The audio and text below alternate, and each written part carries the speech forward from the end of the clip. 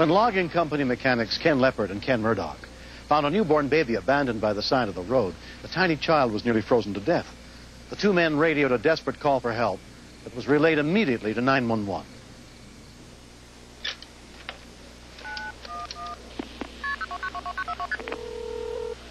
911 emergency. This is Sharon at Cascade Timber Company. Mhm. I have a, a mechanic and some people up by the, the burn that was up at the lake.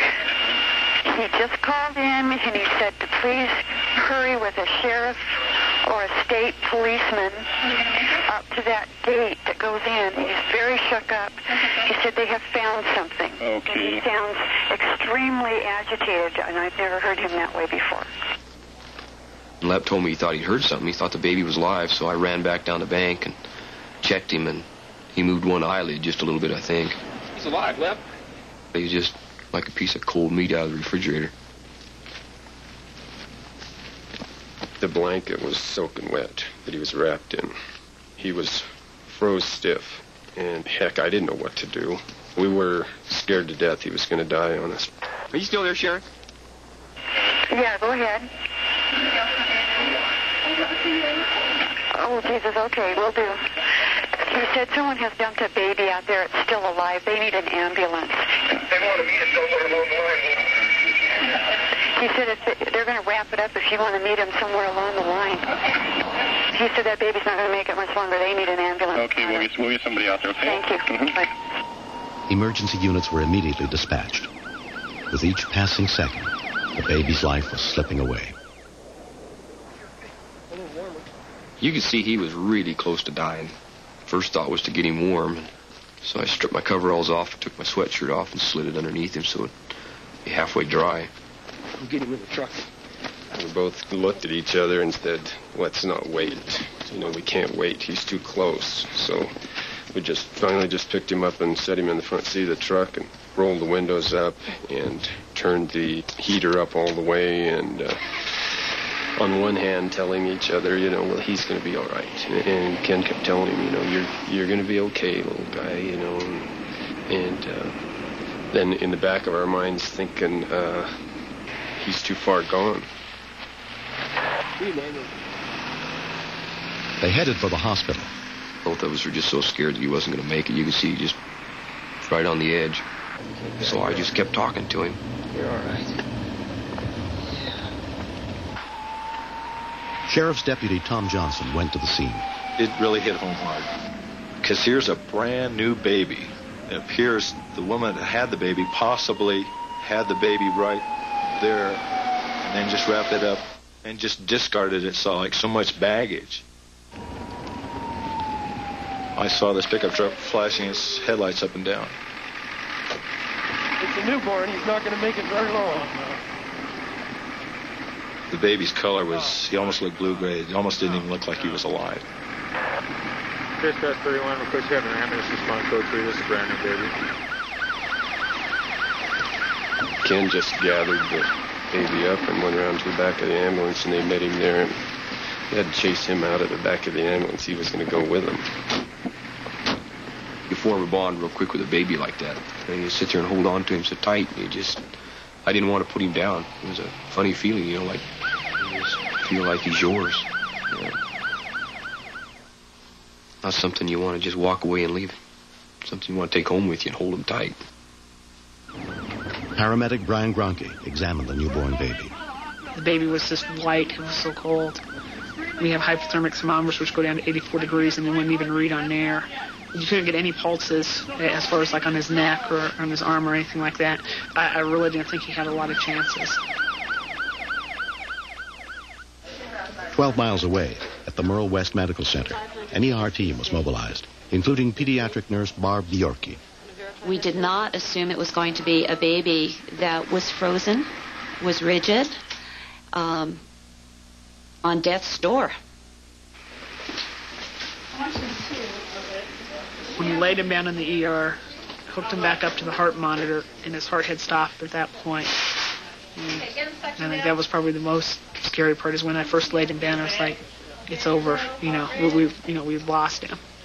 I couldn't even get his jaw open. He, he's just too cold. There's no heart rate. I don't hear anything. Let's put ahead and Bag start. him. Bag us. See if we can get him in the bed. Yeah, go ahead. Dr. Trainer was next to me. We were suctioning the mouth, and she said, "Open the mouth." And I said, "I'm trying." The baby was so cold. The jaw was rigid. Um, could barely get it to open. Pediatrician Dr. Charles LeBouy was also called into the emergency room. When I first got the call uh, and was leaving the office, I told my office staff that I didn't think it would be very long before I would, would be back because I, it didn't sound like this baby was salvageable. I thought the dear Lord would determine whether this baby was going to survive or not, and I just do my part. At the scene where the two Kens found the baby, sheriff's investigators looked for clues to help them find his mother. His rate's picking up a little bit. Heart rate 68. By 3 o'clock in the afternoon, two hours after he had been here, the baby's temperature had made it to 94 degrees. He was trying to cry and just improved constantly. It was just truly a miracle. Within a few hours, the baby was doing well enough to be transferred to the nursery and given a name Benjamin Kenneth Forrest. I left at about 3:30 and turned Benjamin's care over to the nurse on the next shift. And at that point, I looked down. I said, "You're going to make it, Ben. I just know that you are." I called the hospital, asked him if he was going to keep all his fingers and toes and everything because he was awfully cold. And they said, uh, "Is this one of the Kens? And I said, "Yeah." They said, "Well, you can come and see this baby 24 hours a day if you want to." They said, "We consider you guys family."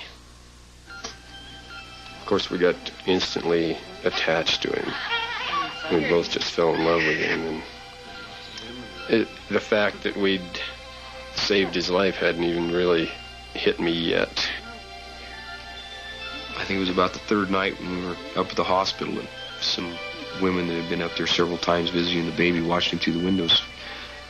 She walked up and asked me if I was one of the heroes. And I just felt like climbing under the nearest table. You know, just that's not me. I'm you know, it's you just do what you have to do and you don't uh, think of it in that text. It was a Christmas story kind of situation. We were preparing for Christmas, and here this baby from nowhere was brought into us. You could just feel the unifying force surrounding Benjamin.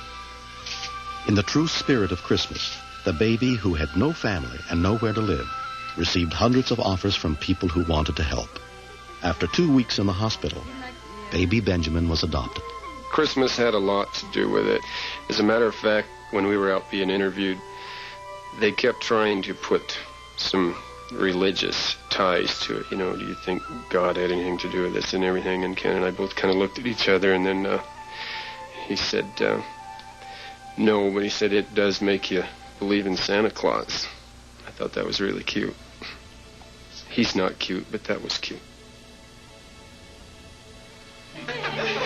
Wishing for that Ferrari. Baby Benjamin might never know the two Kens who saved his life, but the memory of him and the events of that cold December day will be with them forever.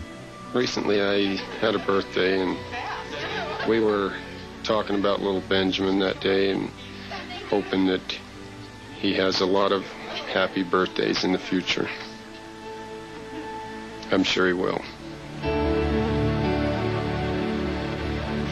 Next, There's always a possibility that there's uh, a disturbance still going on, whether you hear anything inside or not.